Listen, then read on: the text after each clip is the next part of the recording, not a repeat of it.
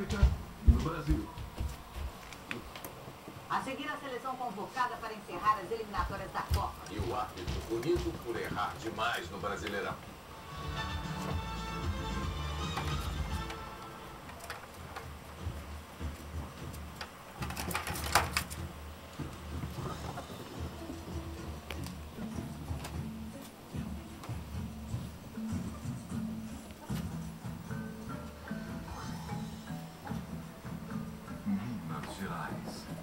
Te conhece não esquece jamais.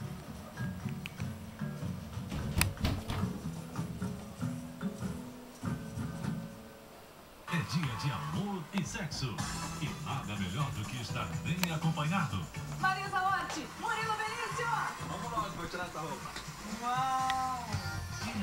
Nas ruas também tem muito o que falar. Quando existe amor, não existe traição. Mentira. Você vai curtir amor e sexo.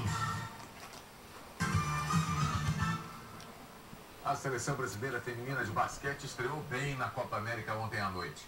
Venceu a seleção de Porto Rico por 78 a 34. A Adrianinha foi a cestinha, com 18 pontos. A competição em Cuiabá vai classificar três países para o Mundial do ano que vem na República Tcheca. Cruzeiro e Palmeiras completaram ontem à noite a 25ª rodada do Campeonato Brasileiro. E o time paulista abriu vantagem na liderança.